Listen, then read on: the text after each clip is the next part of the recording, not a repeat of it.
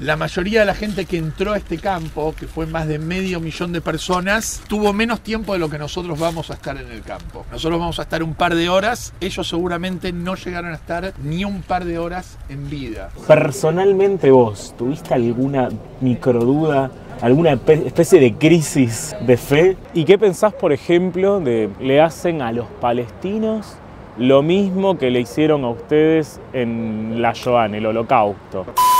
Bienvenidos a un capítulo más de Un Topo por el Mundo. Estamos en Polonia. No me encuentro solo el día de hoy. Carla, ¿cómo andás? Ay, bien. Tomando mate. Tu primer día en Polonia. Sí, después de varios países. Hoy vamos a hacer un recorrido no muy alegre. Vamos a conocer un poco de la historia de los judíos en Polonia, la historia de mi familia. No lo vamos a hacer solo, sino que nos vamos a sumar a un tour que hace un rabino, que ahora nos vamos a ir a encontrar con él. Estamos yendo para allá con las valijas, porque después seguimos un poco el viaje con él. No todo lo que él hace, pero sí una gran parte. Y bueno, vamos a ir caminando tomando unos mates porque nos quedamos dormidos y nos perdimos el desayuno. Hemos llegado al primer punto donde nos encontramos con mi amigo y a la vez rabino, Yoel Migdal. Perdón Eh, que te interrumpa. sí. Y también un topo fan. y un topo fan, sí. Y empezamos el día de hoy en esta recorrida por Varsovia, en el lugar donde llevaban a los judíos al campo de concentración. En este mismo lugar fue donde fueron eh, deportados a partir del 42 más de 300.000 judíos que vivían en el gueto de Varsovia. Después de la llegada de los alemanes, lo que se establecieron fueron guetos, hasta que en el 42 se establece la solución final, que era el- la masacre de los judíos. Y había muchos judíos que creían que iban a ser deportados, no masacrados. Porque los alemanes utilizaban palabras nefastas en un idioma, llamémoslo, positivo. Entonces, en vez de decir deportación, ellos lo llamaban reasentamiento. Y al principio, como te contaba, la gente iba de buena voluntad. Pero después, con el tiempo, ya como no recibían noticias de quienes habían sido deportados, entonces eh, ya la gente empezó a ser más reacia. Entonces los nazis no tuvieron mejor idea que ofrecer a quien se presentaba dos kilos de pan con manteca. Muchos sobrevivientes cuentan esto, que lo único que tenían en su cabeza era eh, poder comer. Aún sabiendo de que después de esa comida eran sus últimos momentos. Y el lugar este de Unschlagplatz está como intervenido, hicieron como una obra artística recordatoria, digamos. Exacto. El monumento viene a representar, algunos dicen, como una tumba, porque es un lugar que tiene una entrada y no tiene una salida. Y hay quienes dicen que viene a representar el mismo vagón del tren donde más de 6.000 a 7.000 personas eran deportadas diariamente. Lo importante no era quién subía, sino que había que subir cumplir con la cuota, porque los nazis uno de sus objetivos era deshumanizar a la gente. Por eso cuando llegaban a Birkenau les ponían un número para que pierdan su identidad. Y acá quienes estaban encargados de entregar esa lista, que era la policía judía, el Judenrat, que tenía una, una función eh, muy controversial. Ellos decían, ¿quién va a estar en la lista? Y obviamente que a sus propios familiares no ponían. Pero bueno, era un dilema muy grande a quién poner en la lista, porque cuando sacaban a uno, tenía que entrar otro en su lugar. Por eso, eh, quien era el presidente del Consejo Judío, Adam Chernakov, cuando fue el primer día de la deportación, en vez de entregar la lista con los nombres de los primeros 7.000 judíos que iban a ser deportados, dejó una nota y en esa nota él dejó escrito diciendo que él no iba a ser partícipe de este plan malévolo de exterminación de sus hermanos y que su acción, o sea, el suicidio, sea una señal para todos los demás, como queriendo decir, no hay otra salvación. No solamente la gente fue asesinada, sino que también fue borrada su recuerdo, porque no tenemos familiares que puedan contar su historia, no tenemos gente que lo recuerden, ni sabemos sus nombres de muchos de ellos. Por eso quien hizo este monumento de alguna forma quiso recordar el nombre de más de las 300.000 personas que murieron en ese lugar sin dejar ningún recuerdo.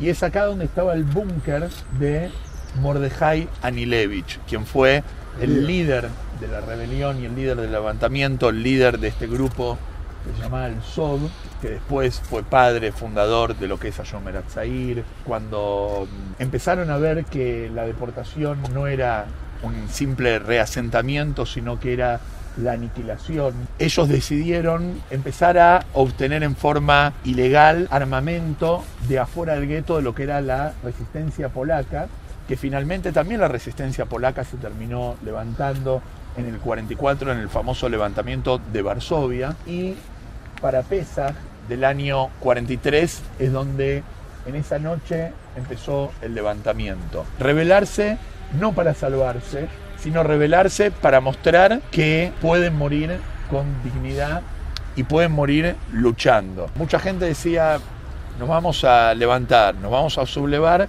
y nos van a matar. Y los jóvenes decían, bueno, pero si no nos vamos a levantar, también nos van a terminar matando.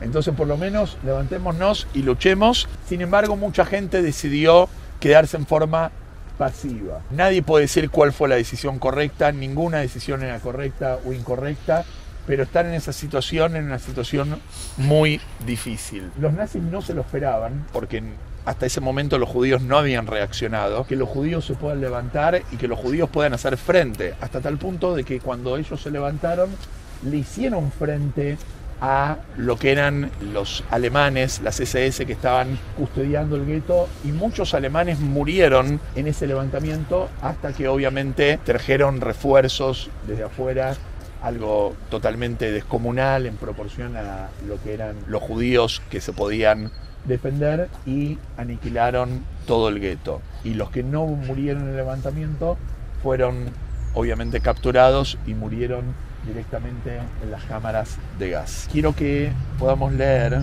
uno de los testimonios que escribe Mordejai Nilevich en una carta. Es imposible poner en palabras lo que hemos pasado. Una cosa es clara, lo que aconteció excedió nuestros sueños más osados. Los alemanes escaparon dos veces del gueto. Una de nuestras compañías resistió durante 40 minutos, otra más de 6 horas. Las minas instaladas en la zona de la fábrica de cepillos explotaron.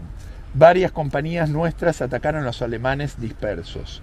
Nuestras pérdidas humanas son mínimas, lo que también es un éxito. Y Egiel, parece que era un amigo de Mordejai Nilevich, cayó como un héroe en la metralleta. Siento que grandes cosas están sucediendo y que lo que osamos hacer es de enorme importancia. Es imposible describir las condiciones en que viven los judíos del gueto. Solo unos pocos podrán mantenerse firmes. El resto morirá tarde o temprano. Su destino está decidido. En casi todos los escondites en que se encuentran es imposible prender una vela por la falta de aire. Gracias a nuestro transmisor escuchamos un maravilloso reportaje sobre nuestro combate en la radio Shavit. El ser recordados más allá de las murallas del gueto nos alienta en la lucha. Que la paz sea contigo, amigo. Quizás nos volvemos a encontrar. Sobre Mordejai Milevich no se sabe exactamente qué es lo que pasó con él. Algunos dicen que antes que los nazis lleguen al lugar se suicidó.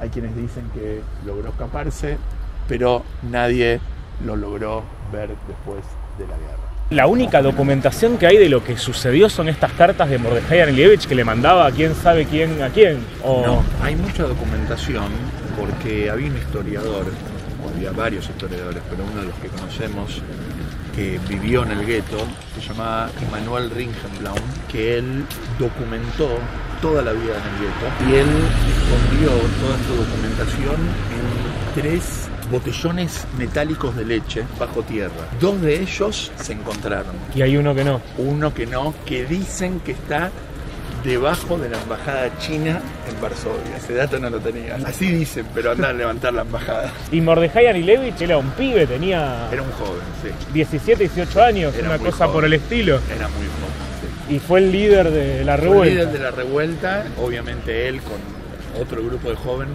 que algunos de ellos sobrevivieron y armaron un kibbutz, un, digamos un asentamiento en Israel que se llama eh, Lojameya Getaot, los luchadores del gueto, de los guetos, y se fueron a vivir todos juntos a un kibbutz en Israel.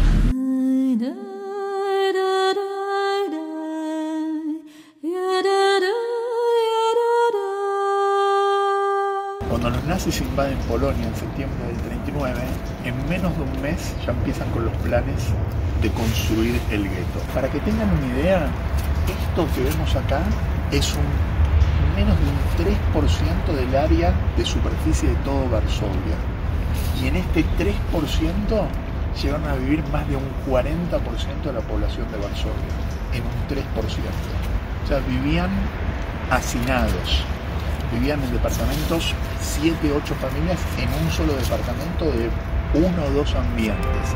Las condiciones de vida eran inhumanas. Nosotros en este momento estamos acá, exactamente, frente a la pared original del gueto.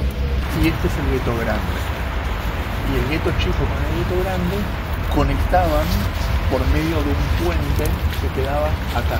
Es un puente muy conocido que duró un par de meses, que está en el recuerdo de la mayoría de los sobrevivientes del gueto de Varsovia, porque era un puente que la gente podía ver la parte fuera del gueto. La iglesia que queda acá enfrente, que estamos viendo, justo queda al límite del gueto y quien estaba encargado, el sacerdote, fue muy benevolente con los Yehudim, con los judíos del gueto y dejó salir a muchos judíos en forma clandestina, obviamente, para que puedan salvar su vida por intermedio de la iglesia. Los La justos que- entre las naciones. Justo entre las Sí. naciones, correcto. Principio del siglo XX, un hombre de nombre Zalmen, apellido Nozick, con su esposa Rivka, donaron este terreno para la construcción de este Beit HaKnesset. Y esta persona era una persona que no había tenido la bendición de tener hijos, entonces lo dona solo con una condición, que el día que él con su esposa se vayan de este mundo, entonces que la comunidad se comprometa todos los años para su aniversario de fallecimiento a decir Kadish. Esta entrada, que es la entrada principal, ya hace más de 20 años que no se usan. Y ustedes se preguntarán por qué tienen que entrar del otro lado si podrían entrar acá. Bueno, lo paradójico es que acá enfrente hay una escuela y principios de los 2000 parece de que los chicos de la escuela no tuvieron mejor idea que tirar piedras a la gente que venía a visitar el Beit. Es muy loco porque esta sinagoga en el año 39 cuando vinieron los nazis la bombardearon y no llegó a ser destruida, fue la única que sobrevivió. destruida, La única que sobrevivió. Y se usó como establo. Que vos sabés que vaya casualidad que los japoneses hicieron lo mismo en las sinagogas de Shanghai. Mirá. Las usaron algunas de ellas como, como establo. Este hombre Nozick, que la donó, seguramente tiene un mérito muy especial, que de todos los Batei Knesiot que había, De 300 fue la única que sobrevivió. sobrevivió. Y, y Varsovia era una ciudad muy judía. Pensar de que uno de cada tres habitantes de Varsovia eran judíos. Ya, 33%. 33% de la población.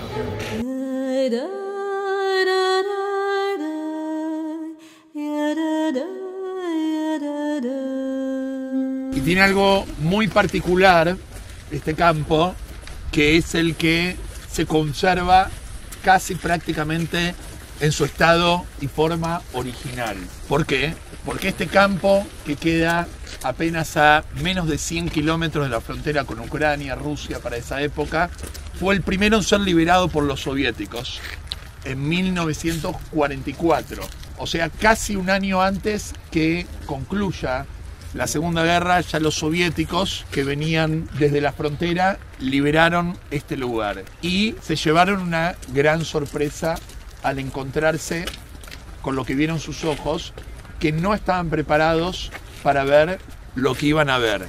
Seguro, habían escuchado, se rumoreaba de lo que los alemanes, los nazis hacían con los prisioneros, con los judíos y con otras poblaciones, pero nunca imaginaron la magnitud y la maquinaria sofisticada que tenían para la industria de la muerte. Este campo fue construido especialmente para el trabajo y la aniquilación. A partir del año 41 es cuando empiezan a llegar los primeros prisioneros. Otros campos, cuando había casas aledañas, las destruían y ocultaban lo que ocurría. Sin embargo, en este campo, por algún motivo, no lo hicieron y quedaba a menos de un kilómetro seguramente la población civil. La mayoría de la gente que entró a este campo, que fue más de medio millón de personas, tuvo menos tiempo de lo que nosotros vamos a estar en el campo. Nosotros vamos a estar un par de horas, ellos seguramente no llegaron a estar ni un par de horas en vida, porque apenas entraban, lo primero que ocurría era la selección. Los cuervos es como que están acá hace 70 años dando vuelta alrededor de la muerte. Los alemanes le ponían a todas las cosas un nombre que se llama un eufemismo, es una forma linda de llamar las cosas atroces. Y a este lugar lo llamaban el campo de las rosas, pero lo llamaban con ese nombre porque era lo contrario a las rosas. Las rosas representan la vida, en este lugar era donde se decidía entre la vida y la muerte. Si esa persona era apta para el trabajo o directamente a las cámaras de gas. Eran justamente no baño y desinfección, eran lugares donde en uno de ellos que vamos a ingresar ahora estaba la cámara de gas. Pero los judíos eran engañados constantemente, todo con el objetivo que la gente no se subleve. En los campos, por ejemplo, no habían chicos. Toda persona que no tenía la capacidad de trabajar no sobrevivía. Por eso un chico que llegaba acá, que podían llegar chicos seguramente a la selección, no sobrevivían a esa selección porque un chico menor de 13, 14, 15 años no era apto, no tenía fuerza para trabajar.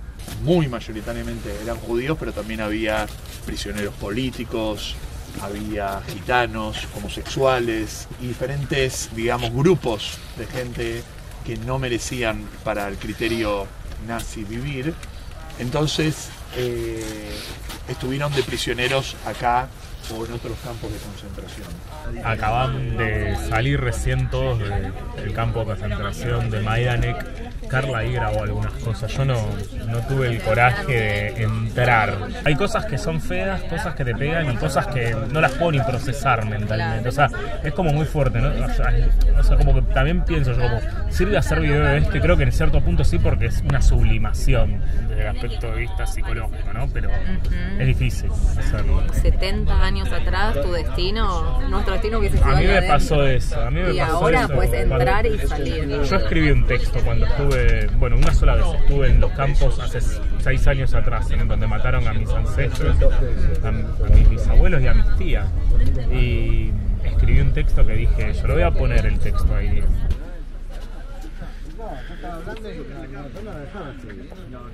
Paramos en la mitad del camino, en un pueblo que se llama Lyansk, y que acá está la tumba de un rabino llamado Eili Melech, que fue un rabino muy importante para el hasidismo, para la corriente judía de las personas que organizan el viaje, y fuimos a visitar su tumba en el medio de la noche. Está como en la entrada y está construido lo que se llama un oel, que es como una especie de casa que lo cubre, pero después está todo el cementerio a la noche ahí abierto.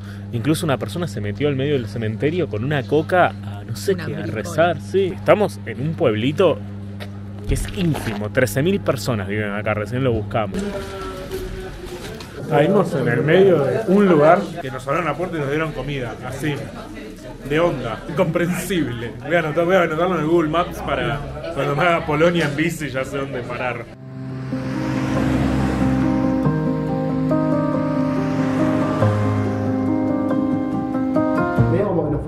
Preparando entre nosotros para tratar de llevar este mensaje de que esto no puede volver a repetirse. Y, y creo que a uno lo primero que pasa es que termina condensando todo eso y, y uno lo condensa como puede. Algunos llorando, desconsolados, otros eh, diciendo esto es para lo que me prepara, esto tengo que seguir llevando este mensaje de que no puede volver a repetirse. uno de los días más importantes que voy a vivir en mi vida. Todos podemos haber visitado lugares en el mundo o haber tenido días distintos, pero ninguno de nosotros se va a borrar de su mente eh, el haber visitado los campos que visitamos. Son recuerdos que nos van a quedar para siempre. Y después, por otro lado, nosotros somos la última generación que va a ver con vida a los sobrevivientes de la Shoah. Y eso también me parece muy destacable porque ya nos pone en nuestras espaldas una responsabilidad extra de eh, empaparnos con la historia y transmitirlo porque vamos a ser nosotros y todas las futuras generaciones las que hagamos que esto no se repita en ninguna parte del mundo. ¿Qué es lo que te lleva a hacer este viaje? ¿Qué es lo que te motiva? Porque hoy te veo cansado, destruido, durmiendo pocas horas, con gente que te molesta por todo, de una pregunta de algo hasta porque no tienen toallas en la habitación y vos estás ahí resolviendo todo. ¿Y qué te lleva a esto? Mira, este viaje lo hacemos hace más de mil años. Mil años. Bueno, claro, ahí pueden notar cómo está Joel. hace más de 10 años. Y hubiera sido una muy buena pregunta si me lo hubieras hecho hace 10 años. Pero hoy, después de 10 años, que hoy estamos cosechando los frutos de los primeros años, te puedo decir que hay algo mágico en este viaje que se despierta la chispa de la identidad de cada joven. Los jóvenes vienen acá y se dan cuenta que la historia de nuestro pueblo, el pueblo judío, no es eh, algo que tiene que ver con solamente nuestro, nuestra época, nuestra vida, eh, nuestros pocos años de vida, sino que tiene miles de años de historia. Entonces, poder venir a un lugar así y conectarse con un lugar donde decís, bueno, acá vivieron mis antepasados, así es la vida judía, entonces a uno le da muchísima fuerza y lo, lo hace ser parte de una historia que es mucho más grande que la de uno, que es la historia del pueblo judío. Siempre en este tipo de viajes surge una pregunta que es como la pregunta por ahí cliché ¿no? que se hace. Fueron a los lugares donde el pueblo judío vivió una de sus peores tragedias de los últimos años y muchas de las respuestas que también se dan de parte de, la gente religiosa ¿no? es, bueno, ¿dónde estaba el hombre? Pero la aposta es por qué no hubo una ayuda de Hashem, de Dios, en ese momento tan tremendo y no solamente a, seres humanos que le hayan pasado a ellos, sino a lo que se considera al pueblo elegido de Dios, ¿no? Mira, es una excelente pregunta. Y te puedo decir lo que dicen los sobrevivientes. Eh, Elie Wiesel, premio Nobel, él dice que Dios estaba presente en Auschwitz para el que lo quería ver. Dios estaba presente eh, en los milagros, aún a pesar de la adversidad. Pero la verdad que uno no tiene por qué eh, ser el, el, abogado defensor de Dios. Dios es bastante grande para defenderse solo y él puede responder esta pregunta. Y me parece que cualquier ser humano que intenta responder esa pregunta está pecando. Porque ¿cómo el hombre puede responder en nombre de Dios? Que responda Dios. Lo que nosotros sí podemos preguntarnos, que es más importante, es no solamente dónde estaba Dios, sino dónde estaba el hombre, dónde estaba la humanidad. Y eso es una pregunta que sí tenemos que responder. ¿Dónde estaba la humanidad? ¿Por qué la humanidad dejó que suceda una cosa así? Más allá del plan divino, que es algo inentendible a la mente humana, lo más importante es entender el plan humano. ¿Por qué la humanidad dejó y por qué la humanidad a otra escala sigue dejando que suceda maldad en el mundo, sigue, sigue dejando que sucedan guerras en el mundo y muertes de inocentes. Personalmente vos, ¿tuviste alguna microduda, alguna especie de crisis de fe? Es una muy buena pregunta. La respuesta es, esta es la paradoja de la fe judía. El pueblo judío es un pueblo lleno de historia, lleno de momentos alegres y también con muchos momentos tristes durante la historia. Y pienso que justamente el que cree es el que puede cuestionar. El que no cree no tiene a quién preguntar. Justamente como creo en Dios firmemente, puedo preguntar. Y aunque pregunte, eso no debilita mi fe. El pueblo judío es un pueblo que siempre se preguntó, es un pueblo que siempre cuestionó y justamente eso es lo que le dio fuerza para mantenerse, mantenerse firme en su tradición, el poder preguntar, el poder cuestionar. Dios quiere que preguntemos, que cuestionemos, pero también que tengamos fe y entender de que hay cosas que no podemos entender. El ser humano inteligente sabe que hay cosas que están más allá de nuestra inteligencia. Esto es así, nosotros la, una venga una toma en la calle y la otra ya se arriba al vidrio porque el viaje es tac, tac, tac, dale, dale, dale. ¿Qué onda tu familia con este viaje? Porque vos tenés una familia numerosa, muchos hijos, tu mujer se queda a cargo de, de todo. Primero quiero empezar por mi abuela. Mi abuela nació acá en Polonia y que en paz descanse, Alea Shalom. Ella no le gustaba que venga este viaje. Pero mi familia entiende, mi familia más cercana, mi esposa con mis hijos, entienden de que esto, más allá de un viaje, es un lugar donde uno viene a encender almas. Las almas de todos estos jóvenes que se conectan con su identidad y con su historia y viven el judaísmo con orgullo. Probablemente mucha gente va a ver este video y van a aparecer comentarios con un tinte antisemita, antijudío. ¿Qué tendrías vos para decirle a esa gente? Más allá de por ahí que son gente ignorante, que desconocen, ¿qué mensaje les podrías dar? La respuesta está en tu misma pregunta. Que dejen de ser ignorantes, que se instruya. El antisemita no necesita motivos para ser antisemita, pero el que es antisemita por desconocimiento, yo le recomiendo que se instruya, que estudie la historia del pueblo y que sepa que el pueblo judío siempre tuvo la intención de contribuir a la humanidad. Seguro que en el pueblo judío, al igual que en cualquier otro pueblo y nación, existe buena y existe gente buena y gente no tan buena. Pero eso es algo que tiene que ver con la persona, no tiene que ver con el pueblo en general. El pueblo judío, al igual que cualquier otro pueblo, es un pueblo que vino al mundo para contribuir al mundo y para hacer de este mundo un lugar mejor. ¿Y qué pensás, por ejemplo, de muchas personas también, otro comentario que aparece dentro de eso es, bueno, ustedes los judíos le hacen a los palestinos lo mismo que le hicieron a ustedes en la Shoah, en el holocausto. Primero de todo que hay que estudiar historia, empezando por la historia de la Shoah y también estudiando por qué el pueblo judío tiene un derecho sobre la tierra de Israel. El derecho es un derecho histórico. No hay tanto escrito en el mundo sobre el derecho del pueblo judío a vivir en la tierra de Israel, un documento tan antiguo que todo el mundo reconoce, que es el libro más leído de la humanidad, que es la Biblia. Y la Biblia dice claramente que el pueblo judío, el único lugar en el mundo que le pertenece es la tierra, que es la tierra de Israel. No significa que uno tiene derecho a maltratar a las otras poblaciones que viven en ese lugar. Seguro que hay mucho maltrato y que hay temas políticos. Ahora, decir que el pueblo judío le hace a los palestinos lo mismo que nos hicieron nosotros en la Shoah es una barbaridad. Si hay un judío que le hace a un palestino lo mismo que los nazis nos hicieron a nosotros, esa persona tiene que ser enjuiciada y tiene que ser castigada por esas acciones.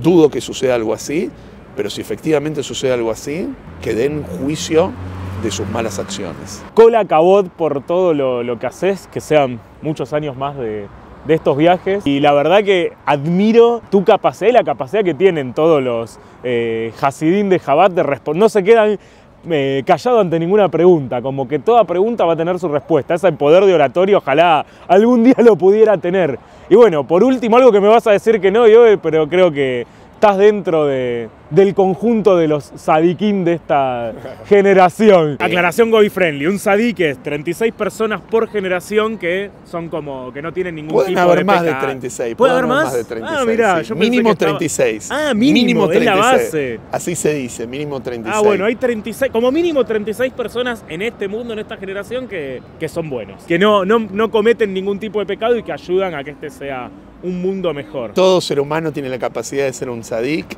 y de ser una mejor persona. No hace falta ser un tzadik, suficiente con mejorarse uno a, a sí mismo, mejorarse y ser uno un tzadik en relación a lo que era ayer. Si la gente que está mirando este video puede llevar su mensaje de, de mi humilde conocimiento, es que cada uno cuando vea este video pueda preguntarse a sí mismo qué puedo hacer yo hoy para ser una persona mejor en este mundo y hacer de este mundo un lugar más digno y con más bondad de lo que era hasta este momento. Bueno, Joel, así nos despedimos de este capítulo de Un Topo por el abrazo. Mundo con un abrazo, como corresponde. Ustedes siguen en el viaje, nosotros también, destinos distintos, pero nos volveremos a unir en el bendito barrio de Once en Buenos Aires cuando estemos a la vuelta. y nos encontremos en Yerushalayim. Como dicen ustedes, amén.